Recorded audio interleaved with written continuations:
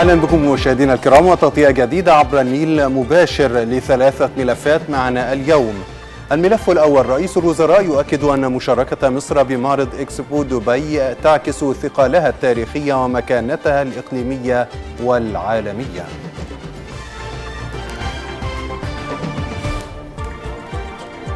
وشكري يؤكد مجددا موقف مصر الداعي لخروج كافة القوات الأجنبية والمرتزقة من ليبيا. أما في الملف الأخير معنا اليوم في النيل مباشر فهو عن انطلاق أعمال قمة العشرين بالعاصمة الإيطالية روما لبحث قضايا المناخ والاقتصاد واللقاحات.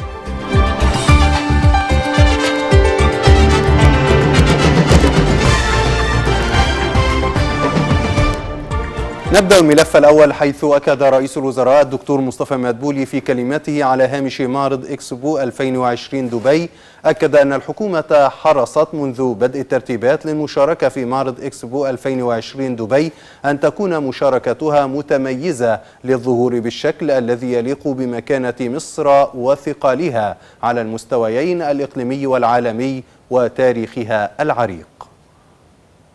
الحكومة المصرية منذ بدء الترتيبات أن تكون مشاركتها في الدورة الحالية للإكسبو متميزة من كافة الجوانب سعيا للظهور بالشكل الذي يليق بمكانة مصر وثقلها على المستويين الإقليمي والعالمي وتاريخها العريق بين دول الشرق الأوسط وقارة أفريقيا وقد حرصت الحكومة المصرية على أن تكون المشاركة متنوعة بحيث تستهدف مختلف الاهتمامات البشرية وكافة المجالات التي تهم الإنسان.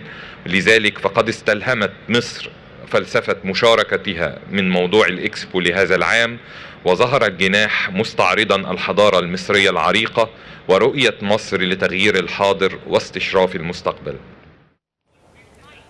ووجه الدكتور مصطفى مدبولي التهنئة لقيادة وحكومة وشعب الإمارات بمناسبة اليوبيل الذهبي ومرور خمسين عاما على تأسيس اتحاد دولة الإمارات. أود أن أتوجه بالتهنئة لدولة الإمارات العربية الشقيقة على التنظيم المشرف والاستضافة المبهرة للحدث العالمي إكسبو 2020 دبي. والذي يعد حدثا استثنائيا بالنسبة لنا نظرا لانعقاده لأول مرة في دولة عربية شقيقة تربطنا بها علاقات وطيدة واستثنائية. فضلا عن انعقاده في فترة شهد العالم فيها تحديا جديدا من نوعه ألا وهي جائحة كوفيد 19 وتجدر الإشارة إلى أن قرب موقع الجناح المصري من موقع جناح دولة الإمارات يعكس مدى الترابط الأخوي بين الدولتين الشقيقتين كما يسعدنا توجيه التهنئة لقيادة وحكومة وشعب الإمارات الكريم بمناسبة اليوبيل الذهبي ومرور خمسين عاما على تأسيس اتحاد دولة الإمارات متطلعين لاستمرار التقدم والرقي والنجاح في مسيرة البناء المستدام لدولة الإمارات. مشاهدينا الكرام ونتحول الآن إلى دبي وبالتحديد إلى معرض إكسبو 2020 دبي حيث استقبال الفولكلور المصري في الجناح المصري المشارك في إكسبو 2020 بدبي.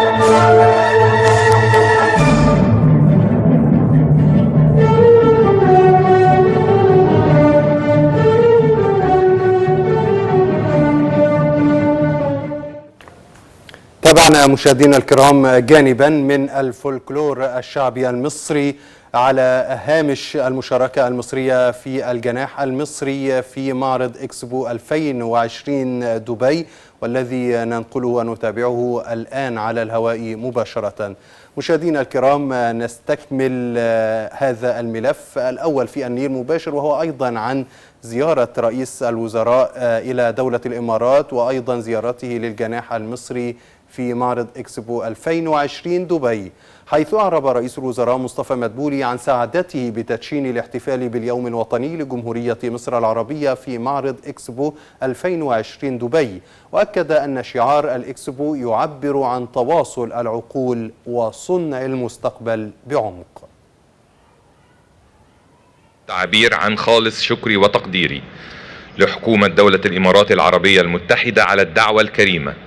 وحسن الضيافة للوفد الرسمي المصري الذي يتشرف أن يكون هنا اليوم لنحتفل معا باليوم الوطني لجمهورية مصر العربية بساحة الوصل في إكسبو 2020 دبي وأنتهز أيضا هذه الفرصة للتعبير عن الشكر والتقدير للمكتب الدولي للمعارض على الجهود المبذولة والتي ساهمت في إخراج هذا الحدث العالمي بشكل مشرف.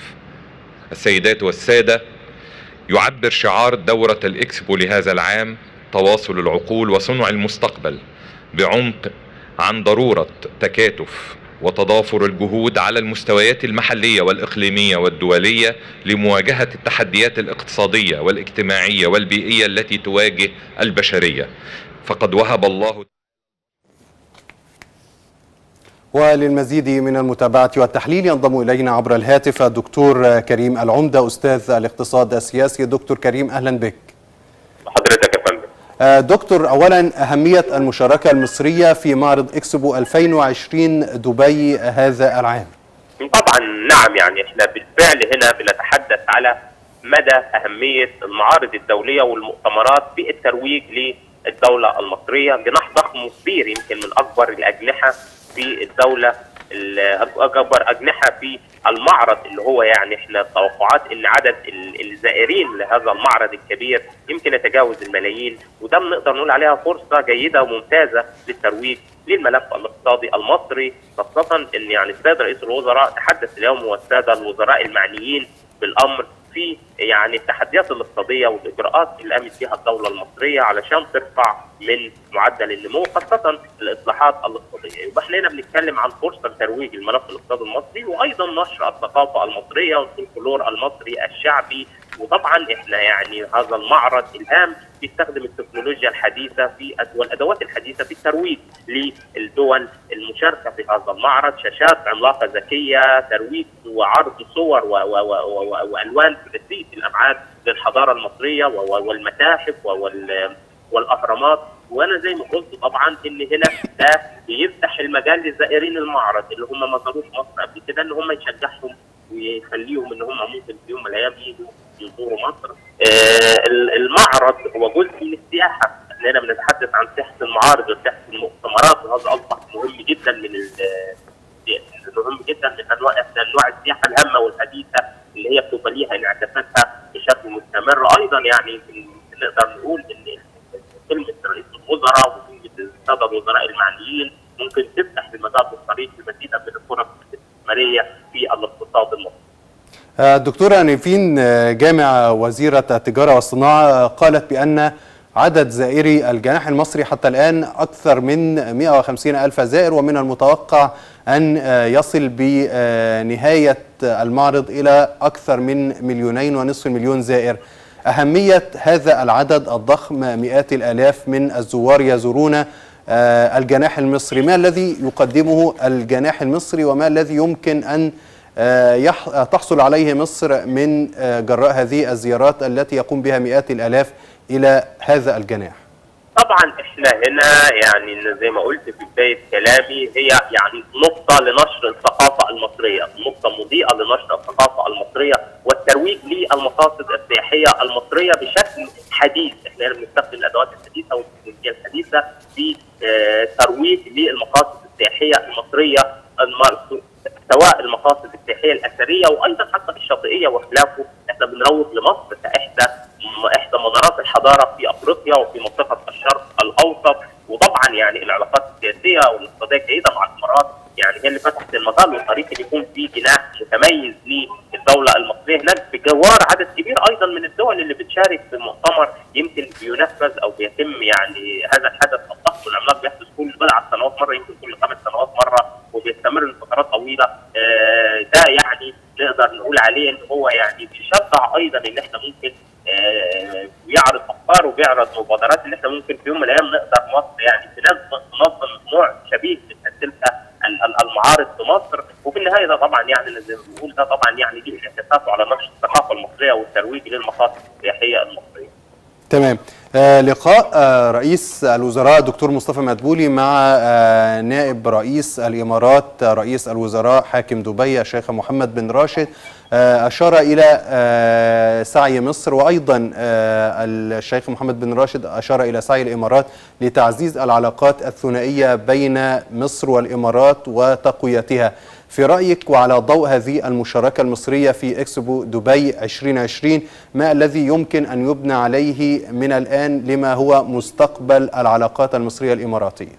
إحنا طبعا زي ما بقول دايما إن العلاقات المصرية الأماراتية هو نموذج يحتذى به في العلاقات العربيه العربية، التعاون بين مصر وبين الإمارات في أكثر من مجال وفي أكثر من تخصص، الإمارات من الدول اللي هي الملف الاقتصادي دايما بيكون اهتمام كبير جدا. يعني هي دولة بتسعى إن هي تنوع مصادر دخلها الاقتصادي بتستثمر في عدد كبير من القطاعات بتستثمر في الصحة بتستثمر في بتستثمر في التعليم والجامعات الخاصة في مصر دايما. يعني بتستثمر في المنطقة الاقتصادية لقناه السويس. استثماراتها ضخمه في مصر طبعا وطبعا ده بيرتبط يعني وده كان يعني ليه ارتباطات أخرى بالقطاعات الأخرى أيضا الاقتصادية اللي الامارات دايما بتسعى عنها وبتبحث عن فرص استثمارية وبتدي في المنطقة بتدي الأولوية لأنها تستثمر في مصر لما تتمتع به مصر من فرص استثمارية كبيرة وعميقه. طبعا أيضا إحنا المؤتمر ده بنستغل إن إحنا بنحاول نروج بنحاول نبحث بنحاول نعرض الفرص الاستثمارية الجديدة كمان اللي إحنا بنطرحها للمستثمرين اللي إحنا كل مدى ما بنبتدي نطرح قطاعات جديدة للاستثمار خاصة إحنا في الفترة الأخيرة يمكن مصر بشدة مهتمة بمجالات الطاقة صديقه البيئة زي الهيدروجين الأخضر وخلافه وبالتالي طبعا يعني الإمارات من الدول اللي هي بتحاول تبحث في الاستثمارات في الطاقة النظيفة ومصر طرحه نفسها اللي هي عندنا إمكانيات المتاحه من طاقة جديدة ومتجددة ومياه وخلافه وده كله ده طبعا بينعكس على حجم الاستثمارات الواقده لمصر في الفترة الأخيرة. دكتور كريم مصر ليست الدولة الوحيدة المشاركة في هذا المعرض. تشارك في هذا المعرض أكثر من 190 دولة.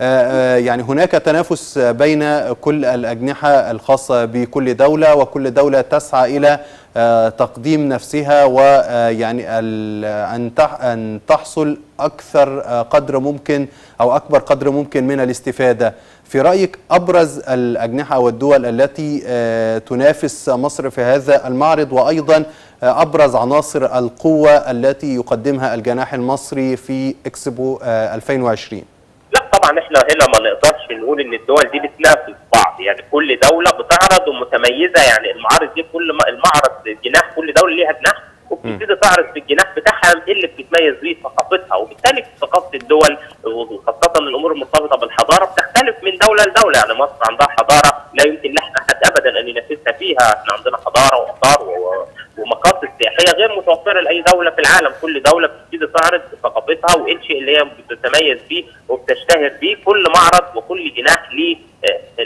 الجزء اللي يميزه. وإحنا مصر بتقدم اللي هو تتميز فيه وفي حتى اهتمام أو في حضور قوي من من المسؤولين المصريين على رأسهم رئيس الوزراء. هو في الآخر يعني إحنا بنبتدي نوضح إيه اللي موجود عندنا من ثقافة وبنروج للمقاصد السياحية اللي عندنا بشكل كبير. خاصة يعني نقول إن مصر وحده الامن والامان وإحنا حتى مع الغاء التعامل بقانون الطوارئ اللي في الفترة الأخيرة اللي كان قيمه بضعه أيام ده المفروض يشجع السياحة بشكل كبير.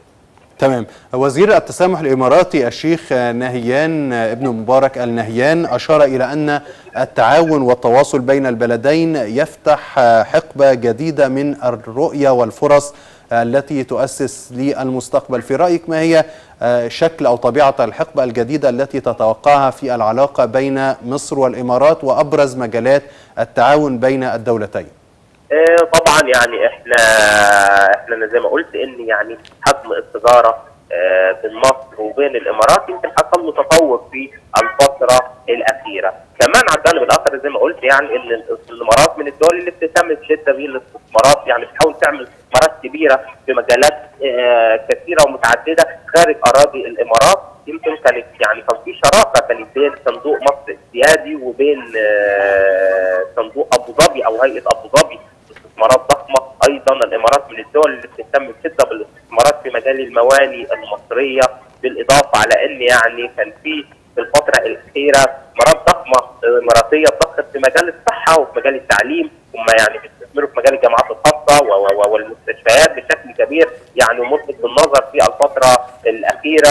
آه، بالإضافة إلى إن طبعا يعني آه، في مجال تكنولوجيا الاتصالات والمعلومات يعني احدى أكبر شركات المحمول في مصر آه، هي شركة إماراتية وبنوك وخلافه. طبعا يعني مجالات التعاون كثيرة وعدة بين ال- ال- الدولتين وإن حضور مصر بجناح متميز في هذا المؤتمر نوع من أنواع التكليل العلاقات الاقتصادية الجيدة التي تتطور بشكل كبير بين مصر والإمارات. آه، أيضا مصر آه، تسعى إلى تقديم نفسها أمام الزوار كوجهة استثمارية وأيضا الترويج إلى مشروعات آه، أماكن آه، آه، ومشروعات كمنطقة قناة السويس الاستثمار في ال- البنية التحتية وإلى ما ذلك في رأيك إلى أي مدى ستكون مصر قادمة ع- قادرة على تقديم نفسها كوجهة استثمارية آه، مشجعة للمستثمرين للقدوم إلى مصر خصوصا أن هناك العديد من آه، الفعاليات السابقة التي شاركت فيها مصر في مختلف دول العالم وفي فعاليات مختلفة أيضا الزيارات التي يقوم بها المسؤولون المصريون إلى الخارج. إلى أي مدى ستكون مصر والجناح المصري قادر على تقديم مصر كوجهة استثمارية آه، يعني محفزة للمستثمرين للقدوم إلى أراضيها؟ ده طبعا يعني أنا برضه نقول إن المعرض ده هو معرض دولي عالمي ليه صبغه دولية قوية بحضور قوي ومؤثر من رجال الأعمال ومن كبار المسؤولين آه، ليس فقط في الإمارات ولكن أيضا في العالم. إحنا بنعرض الفرص الاستثمارية ونسوق للمقاصد الصحيه المصرية بشكل حديث وهام جدا. كمان أنت في خبرة مشاركة في النوع ده من المؤتمرات في خبرة بيبقى بيكتسبها بيكتسبها الجانب المصري من المشاركة في النوع من المؤتمرات. ده ما نقدرش نقول إنه مؤتمر كبير وليه وضعه من أهم المؤتمرات على المستوى العالمي. إيه كمان يعني ال- ال- يعني ده برضه بنقول عليه بيحاول بقدر المستطاع ينمي ويقوي أكثر من أوصل العلاقات بين مصر آه، وبين الإمارات خاصة يعني إن يمكن مصر أكبر متلقي للاستثمارات في قارة أفريقيا والإمارات يمكن أكبر متلقي للاستثمارات في الشرق الأوسط. وبالتالي يعني هنا إحنا بنقول إن ده بيفتح المجال لمزيدا من الشراكات والتكتلات ومزيدا من ضخ الاستثمارات الإماراتية أو مؤتمرات مشتركة وعمل مشاريع مشتركة بين الجانبين. تمام آه، دكتور كريم آه، أخيرا آه، كأستاذ آه، في الاقتصاد السياسي ما الذي تتمنى أن تحصل عليه مصر من هذا المؤتمر إكسبو 2020 دبي يعني إحنا هنا بنقول ان أنا زي ما قلت ان هو ده بيبقى فيه خبرة بيكتسبها الجانب المصري في المشاركة في المؤتمرات الكبيرة اللي من النوع ده، أيضا إحنا الاهتمام بالجانب الثقافي والترويج للثقافة المصرية مهمة جدا في مؤتمرات عملاقة، الحضور القوي والمهم جدا والملفت للنظر خاصة بعد جائحة كورونا اللي حصل فيها توقف كبير في الفترة الأخيرة. ده برضه بيكون فيه انعكاساته الجيدة آه، ليس فقط ليس فقط الاماراتيين اللي هم يعني شافوا الجناح المصري ولكن يعني هم مسؤولين كبار من مختلف جوانب ال- العالم ولا زال يعني أنا عايز أقول يعني إن الفرص الاستثمارية أو ال- الترويج للفرص الاستثمارية والقطاعات المصرية ده المفروض لا يتوقف آه، في مؤتمر واحد ولكن يعني يجب أن يكون أن لدينا مشاركة جيدة في النوع ده من المؤتمرات في أي مكان في العالم خاصة إن يعني السعودية كانت قدمت ان هي عايزه تستضيف اكسبو 2030 وأنا اتمنى أن يكون الحضور في مصر في 2030 يعني يجب ان نحضر من الآن ل 2030 حتى يكون حضورنا أقوى وأقوى وتحسن مستمر. تمام. آه، دكتور كريم العمدة أستاذ الاقتصاد السياسي شكرا لك. آه، كنت معنا عبر الهاتف. مشاهدينا الكرام آه، نتحول إلى الملف الثاني معنا اليوم في النيل مباشر. وهذا الملف يتحدث عن الزيارة التي يقوم بها أو اللقاء الذي آه، عقد بين وزير الخارجية سامح شكري ويان كوبيتش حيث شدد وزير الخارجية سامح شكري مجددا على الأهمية التي توليها مصر لخروج كافة القوات الأجنبية والمرتزقة من الأراضي الليبية وما يمثله ذلك الوجود من تهديد واضح للسيادة الليبية على سائر ترابها الوطني وتأثيره على أمن دول الجوار. جاء ذلك خلال جلسة مباحثات وزير الخارجية سامح شكري مع يانكوبيتش مبعوث الأمم المتحدة إلى ليبيا. من جانبه أطلع المبعوث الأممي وزير الخارجية على نتائج اتصالاته مع مختلف الأطراف المعنية بالأزمة الليبية ورؤيته إزاء تحريك الأوضاع في ليبيا مثمنا في هذا الصدد استضافة مصر لاجتماعات مجموعة خمسة زائد خمسة وأهمية العمل على حشد الجهود لتلبية تطلعات الشعب الليبي.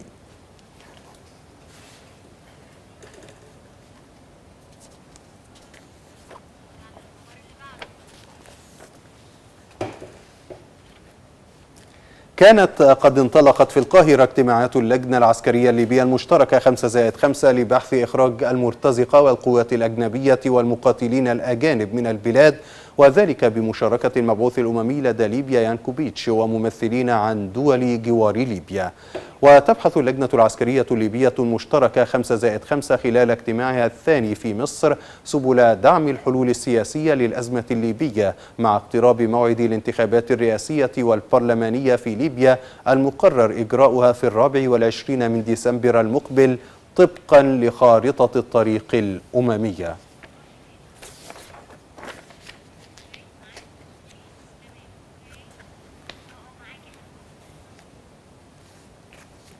وللمزيد من المتابعة والتحليل ينضم إلينا عبر الهاتف الأستاذ عبد الستار حتيتة الكاتب والمتخصص في الشأن الليبي. أستاذ عبد الستار أهلا بك.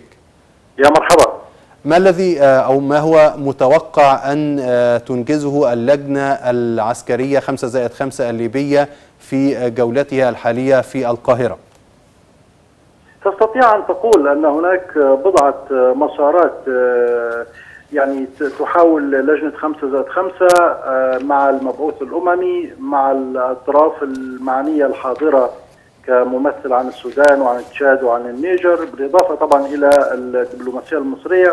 كل هؤلاء يحاولون السير على عدة مسارات. المسار الأول في رأيي يتعلق بممارسة الضغط حتى تقوم كل الأطراف التي لديها مرتزقة ولديها قوات أجنبية بالرحيل من ليبيا وهذا يشمل الكل يشمل دول إفريقية ودول من خارج أفريقيا يعني تمكنت خلال السنوات الماضية من إدخال ألوف من المرتزقة إلى الأراضي الليبية.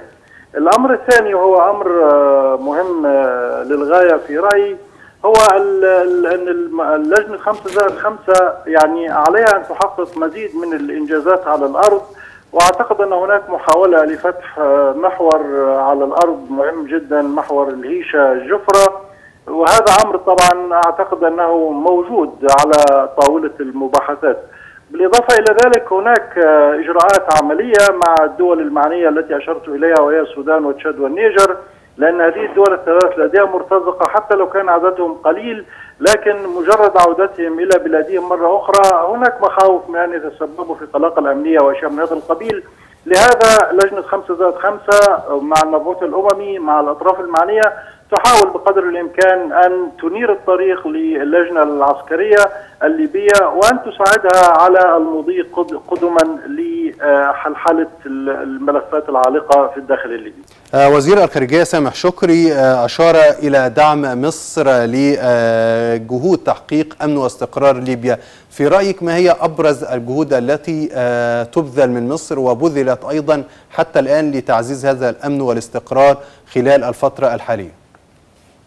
معلوم أن مصر لديها علاقة قوية مع لجنة خمسة زائد خمسة حتى منذ قبل أن تسمى بخمسة زائد خمسة. يعني كان هناك اجتماعات للعسكريين الليبيين من الشرق والغرب والجنوب في القاهرة وكانت هناك محاولات ملموسة ومحاولات حثيثة من جانب مصر لمساعدة الأخوة الليبيين العسكريين يعني على توحيد المؤسسة العسكرية الليبية. وللأسف الشديد تدخلت بعض القوى الإقليمية والدولية لمحاولة عرقلة هذا المسار والضغط على الدولة المصرية طبعا مصر تمكنت عن طريق الدبلوماسية وعن طريق القيادات الذكية في الدولة المصرية تمكنت من وضع هذا الملف في أيدي الأمم المتحدة وأيدي البعثة الأممية حتى يكون في مأمن من التلاعب من جانب بعض الأطراف الإقليمية المعروفة يعني لا داعي لذكرها.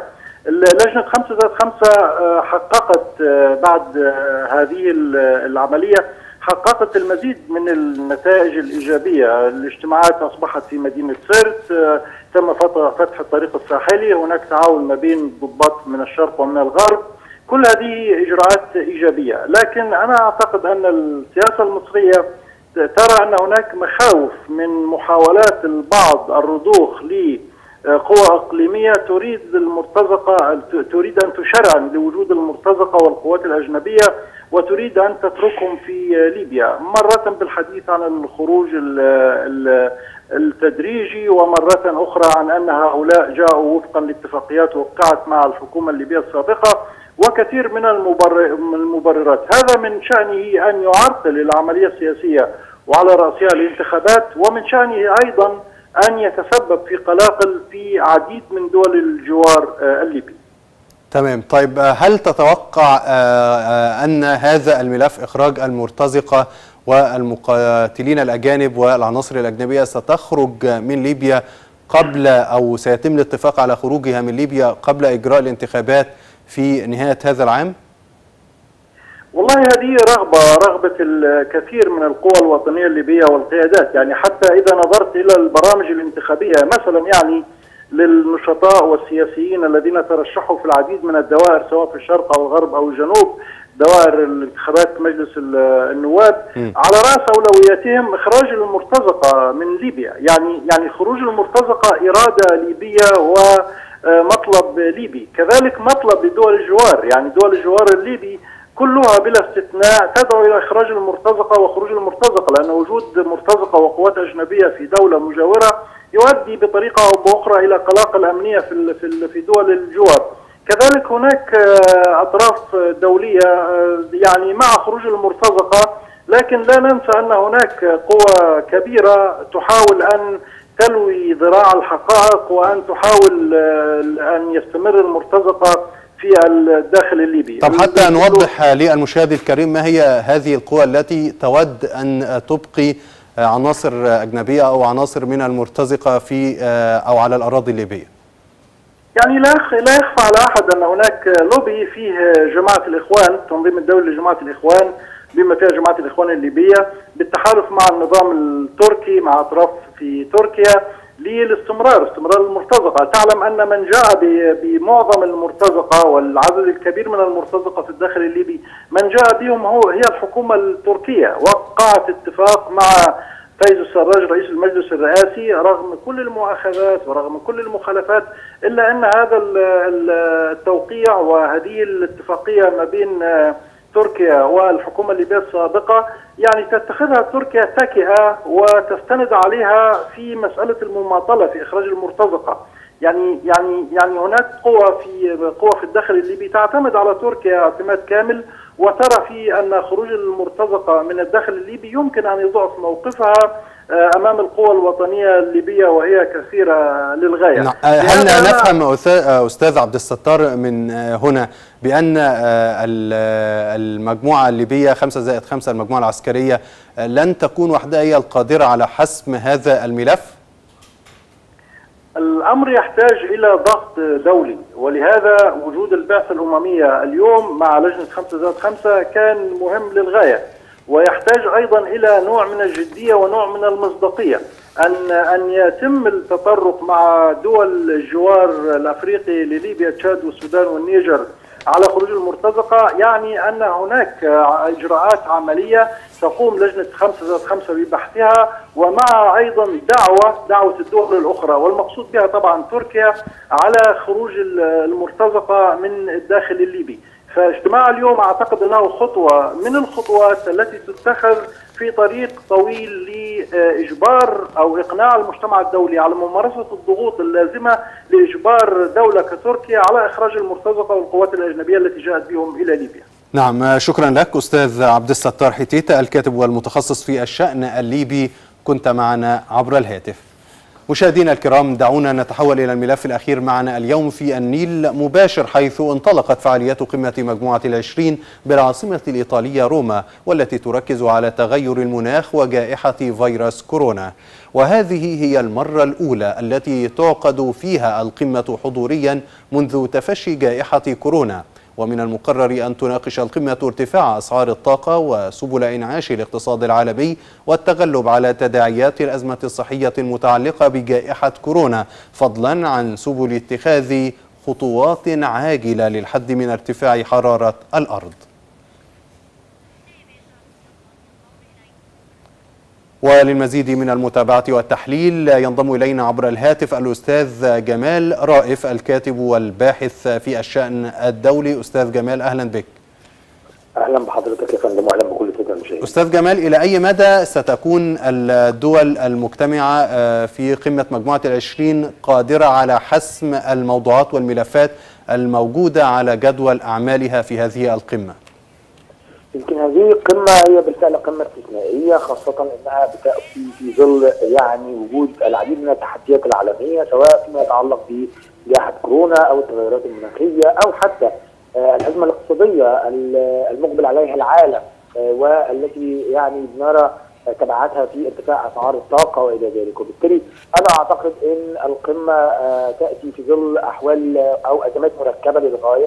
وتستوجب أن يكون هناك تجانس ما بين القوى الاقتصادية الكبرى ولكن للأسف أيضا هناك تضارب مصالح ما بين الدول الكبرى مثل الولايات المتحدة الأمريكية، الجانب الفرنسي، الجانب الانجليزي وغيرها أيضا من الدول. وبالتالي هذا التضارب في المصالح أيضا يجعلنا يعني نستبعد فكرة أن يكون هناك حلول حاسمة ولكن ربما يكون هناك تقارب في وجهات النظر، ربما يكون هناك تفاهمات خاصة في قضايا الهامة المتعلقة بالتغيرات المناخية بالتحديد خصوصا إن أيضا القمة المناخية في اسكتلاند يعني كمان أيام قليلة وبالتالي هذا أمر متصل وهناك أولوية يمكن حتى ما سرب من البيان الختامي يعني يشير إن أغلبية النقاط متعلقة بما يتعلق بالتغيرات المناخية ومجابهة التغيرات المناخية وفيما يتعلق بتقليل استخدام الوقود الاحفوري الاحفوري وإلى ذلك وبالتالي أنا أعتقد إن يعني ربما يكون هناك اتفاق على القضية المحورية وهي القضية المتعلقة بالتغيرات المناخية بينما تظل باقي القضايا عالقة في ظل هذا التنافس الدولي وفي ظل صراع نفوذ أيضا موجود ما بين القوى العشرين.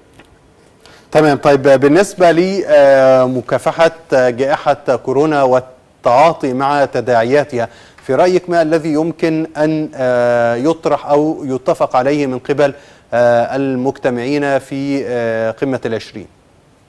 يمكن الدول الكبرى في مجموعة العشرين خاصة الولايات المتحدة الأمريكية فرنسا إنجلترا وغيرها من الدول يعني الغربية بالتحديد وأيضا حتى الصين والهند الجميع الآن استطاع ان يعني يتصدى للجائحه نوعا ما وإن كانت الهند يعني واجهت بعض العثرات ولكن هي الآن على الطريق للتصدي. ولكن أنا أعتقد إن الأهم أن يعني تنظر مجموعة العشرين لمسؤولياتها تجاه الدول النامية والدول الفقيرة. وهذا اتضح في كلمات بعض الزعماء الأوروبيين وأعتقد إن أو أتمنى أن يتحول هذا من كلام إلى فعل وأن يكون هناك بالفعل توزيع عادل للقاح وأن تتبنى مجموعة العشرين هذا في بيانها الختامي أن تدفع بتوزيع اللقاح للدول النامية والدول في منطقة القارة الأفريقية بالتحديد بشكل عادل وبشكل منصف خاصة إن في الآخر هذه الدول هي سوق أيضا لسلع القوى العشرين وبالتالي المصلحة متبادلة ولكن أيضا البعد الإنساني يجب أن يكون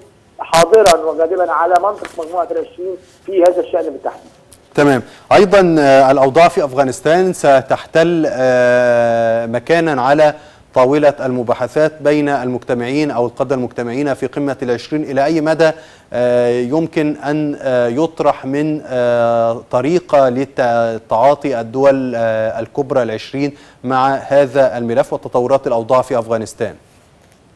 يمكن تطورات الأوضاع في أفغانستان بالفعل يعني فجرت الكثير من المتغيرات يعني هي متغير ضخم ولكن حتى من حولها أشعلت المزيد من المتغيرات الإقليمية والدولية وتباينت وجهات النظر بين الدول الكبرى خاصة مع في ظل الاتحاد الأمريكي الذي أيضا يعني كان بشكل يعني أظهر الدول الغربية وقوى الناتو بشكل ربما لم يكن جيدا. وبالتالي أنا أعتقد إن أيضا مخاوف من مستقبل أفغانستان والمخاوف من تفريخ أفغانستان لجماعات إرهابية مستقبلية أمر يعني يحظى باهتمام الكتله الغربية خصوصا ان ظاهرة الإرهاب. ظاهرة متنامية في العالم الآن ولم يعني أو لم تنحصر حتى الآن. وبالتالي أيضا أعتقد إن يعني البحث في جهود امتصاص الأزمة في أفغانستان أمر مهم جدا لعدم تنامي ظاهرة الإرهاب وعدم امتداد الفكر المتطرف لأفغانستان بشكل كبير كما كان في الماضي احتواء الأزمة في أفغانستان. هو أمر مهم جدا ويؤثر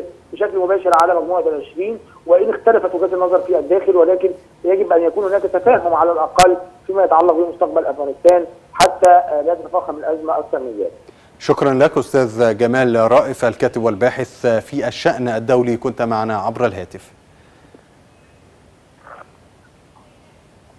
وإلى هنا مشاهدينا الكرام نكون قد وصلنا إلى ختام النيل مباشر اليوم في الغد. إن شاء الله حلقة جديدة. حتى ذلك الحين تقبلوا تحياتنا وإلى اللقاء.